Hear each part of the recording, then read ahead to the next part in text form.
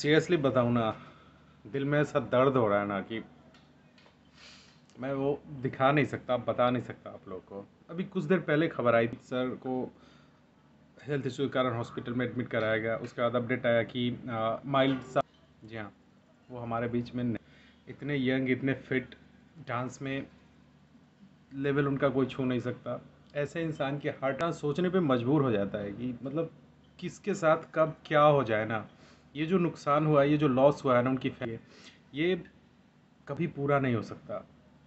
अभी दो तीन दिन पहले ही जब बजरंगी टू का प्रेस मीट इवेंट था वहाँ पे वो थे आ, अपने रॉकिंग स्टाइल्स थे उसके बाद सर थे। कितने खुश थे वहाँ पे कितनी मस्ती की लोगों ने डांस किया था।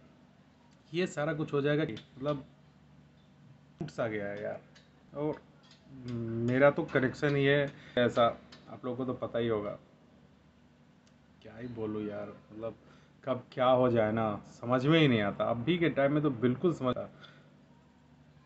मतलब इतने फिट एक्टर को हार्ट अटैक आ जाए तो फिर ये जो नुकसान कभी नहीं भरा जा सकता। ये कन्नड़ा फ़िल्म इंडस्ट्री के लिए, उनके परिवार वालों के लिए बहुत ही बड़ा नुकसान है। मन बोलने का यार।